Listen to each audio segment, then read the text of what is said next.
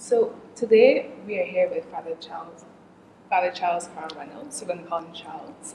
And my name is Anissa Wood, and I have with me Annika. Two of us had the privilege of working as interns at the Barbados Museum Historical Society. And when we first came on board as an intern, we were kind of thrown into this particular project, um, the Black Presence. And I have to say it was really enjoyable because it was an experience that we both never had before, you know. And we weren't really expecting it because we're like, okay, we want to work with you, but you know, we don't know exactly what we want us to do. And this was a pretty major project as a first thing off the bat, essentially.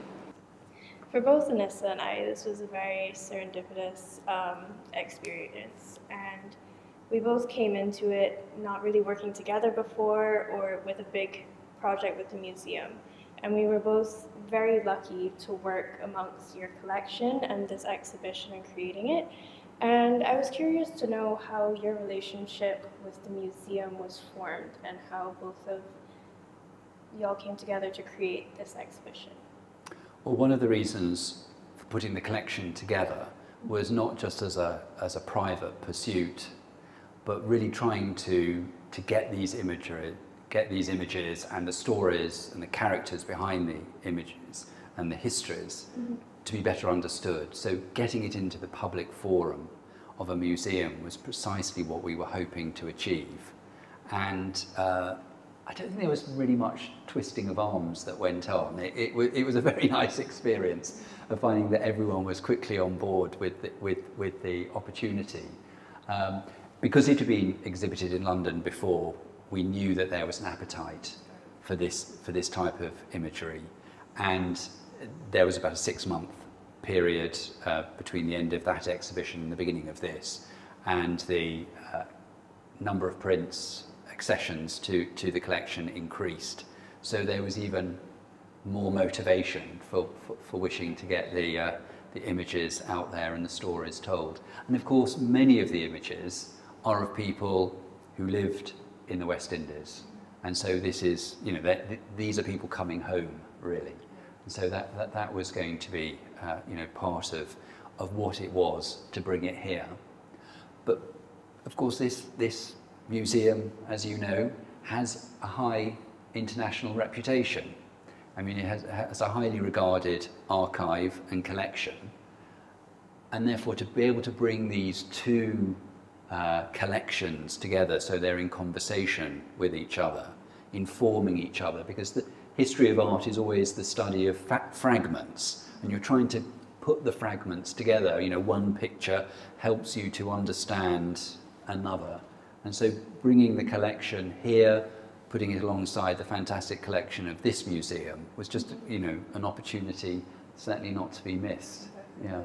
And we can say that we really appreciated the opportunity to do this because we had the chance to do research behind each individual piece and the stories yeah. that were behind the individuals of yeah. each project were stories that we never heard of. Yeah. Yeah. And it was exciting really to know that these people, people of um, black heritage and, and were able to be an agent, you know, yeah. and to accomplish these things at a time that was really difficult for them, you know, people of that race, you know, and to know, find out about these stories. I kind of wonder, like, you know, why have we never heard of this? You know, this really should be part of the stories that yeah. we are being taught. And that's one of the reasons why I thought that this was a really special exhibition to have it being shown to the public and having those stories told. Well, of course, in the 18th century and into the early 19th century, the West Indies was the economic centre of the world.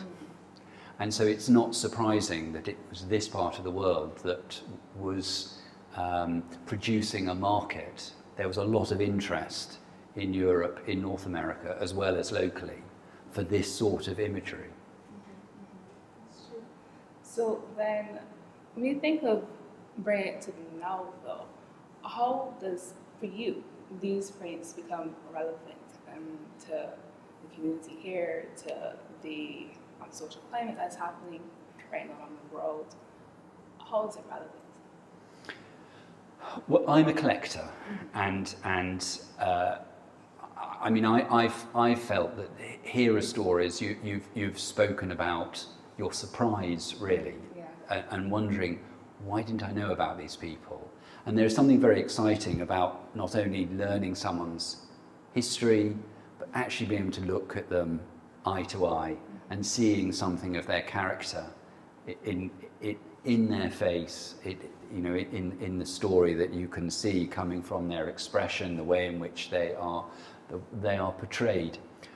And so I think in the present climate, we're recovering a lot. There's, there's a lot of talk of, of, of cultural reparation, of being able to, to tell the story again, to tell it with honesty, you know, the, the, the hard history that it is, as well as the wonderful creative and redemptive side, you know, because a lot of these people lived excruciatingly hard lives, and yet, as the exhibition title is, they retained agency and they, they, they were able to contribute in extraordinary ways as sportsmen, as historians, as politicians, as writers, composers. There's a whole variety. I mean, no one here in these images is a cliche. You know, every, everyone is an individual. And, and I think that's what's so surprising about it because we've got so used to looking at people in a cliched way. And then you go back to a way of being able to look at people on their own terms. Definitely, yeah.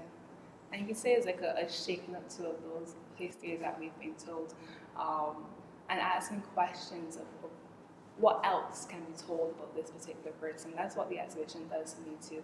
It doesn't necessarily say or go along the the common track, you know, the uh, common train of thought that we usually have when it comes to historical stories, but it asks other questions and poses other possibilities and the way that engages with the like your collection, the museum's collection is really, really intriguing. Mm.